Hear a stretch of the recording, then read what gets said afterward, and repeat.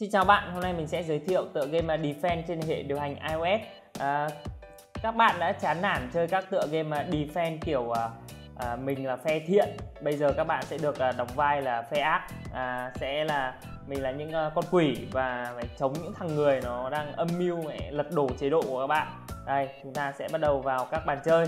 Ờ, trong một cái bàn chơi này thì nó có rất là nhiều uh, các cấp độ từ uh, dễ đến khó. Đây có các chế độ như à, Nightmare, Chao, Hell, Inferno kiểu. Mình sẽ chơi chế độ đầu tiên. Một cái bàn này thì nó chia ra làm rất nhiều bàn nhỏ cùng một cái map thôi. Nên chúng ta sẽ được từ từ để trải nghiệm cái độ khó của nó. Vâng chúng ta đã bắt đầu vào bàn chơi. Và có các điểm tích sẵn này là những chỗ mà các bạn có thể xây dựng à, tròi quỷ của các bạn. Vâng mình sẽ xây thêm một cái tròi ánh sáng rồi này là của một thằng pháp sư quỷ. Các bạn ấn vào cái nút này thì nó sẽ gọi quân đội kia ra nhanh hơn. Đấy kiểu khiêu khích. Và chúng ta sẽ có kiểu à, xây thành và các sử dụng một số phép ở đây.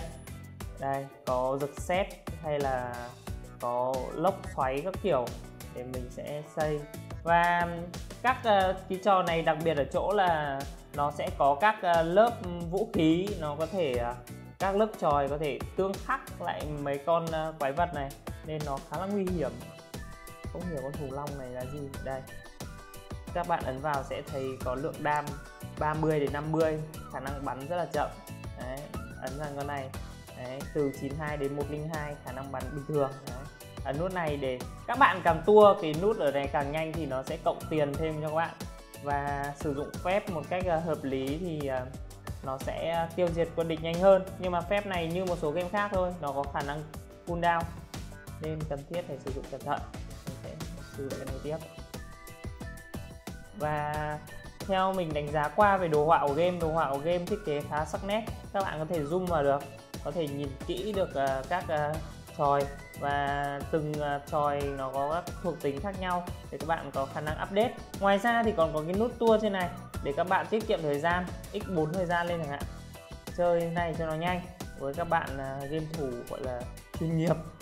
Ví dụ như mình nhưng mà đấy thử rồi đấy. chuyên nghiệp thì mình cần phải chơi nhanh thôi. Đấy, các bạn à, mới tập chơi thì không nên đú đờn. Khá là khổ. Và cái phép vừa xong là cái teleport lại để cho kéo lại thời gian để cho nó chạy. Ờ, mới chạy nhanh vãi. Từ từ chậm thôi. Đấy còn cái phần này là có thể à, uh, tua lại thời gian để các bạn có thể uh, chọn lại các như kiểu uh, các way tiếp theo để chúng ta có thể kiếm được thêm một lượng tiền.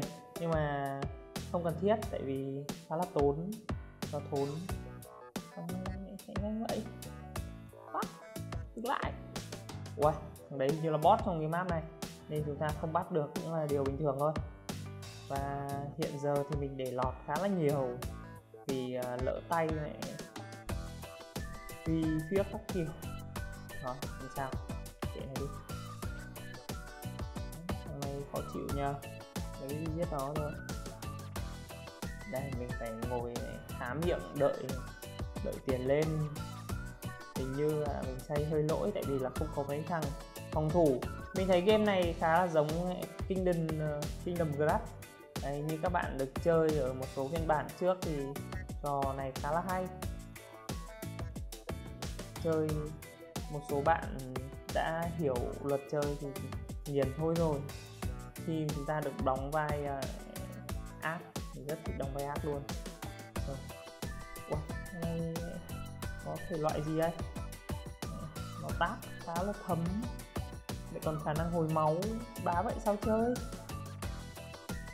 Đặt chết nó đi anh. Rồi, mình sắp hoàn thành được à, rồi 10 quay, bài này chỉ đến 10 quay thôi Mà nó khá là vật vã rồi. Đi lại. Mẹ nó, chơi cứ vừa chạy vừa hồi máu quá chịu Rồi, cuối cùng mình đã hoàn thành xong màn chơi khi uh, hoàn thành xong màn chơi thì các bạn sẽ hoàn thành được một số cái nhiệm vụ của game đi bàn theo và được cộng thêm cái lượng đầu lâu. Cái lượng đầu lâu này sẽ giúp đỡ các bạn uh, thay vì là lượng tiền nó sẽ uh, giúp các bạn uh, nâng cấp một số cái tường thành như mình sẽ uh, chui vào cái phần nâng cấp ở đây. Để cho các bạn có thể tìm hiểu được và khi mà chiến thắng một số bàn thì nó sẽ được mở thêm. Đây đây là cái phần update. Phần cái update này thì nó sẽ kiểu update các tròi của các bạn thấy ở trong uh, lúc xây dựng. Ví dụ như cái tròi bắn tên hay là tròi phòng thủ tròi bắn pháo. Đây nó sẽ nâng cấp các thuộc tính của tròi cho khỏe hơn. Ngoài ra thì còn nâng lên hai cái phép và có thể nâng được lên cho cái thằng tướng. Tướng thì các bạn sẽ thấy xuất hiện khi một số bàn sau. Và có mình thấy cái game này có cái nâng cấp đặc biệt là nó có thể nâng cấp được cái khả năng ờ, mới vào ban đầu của bạn. Như kiểu ở đây là nó sẽ tặng thêm 5% cái khả năng à, bắt đầu vào bàn chơi. Đây là một cái sự à, cộng rất là à, thuận lợi cho người chơi. Ngoài ra thì trong cái phần library này thì nó sẽ giới thiệu các thằng quân kiểu quân thiện tấn công mình. Nói chung là không vui lắm. Và các đường kiểu kết hợp của các tròi và khả năng lên cấp. À, game khá đơn giản thôi. Bài trải nghiệm game của mình đến đây kết thúc. Cảm ơn các bạn đã theo dõi video. Xin chào và hẹn gặp lại.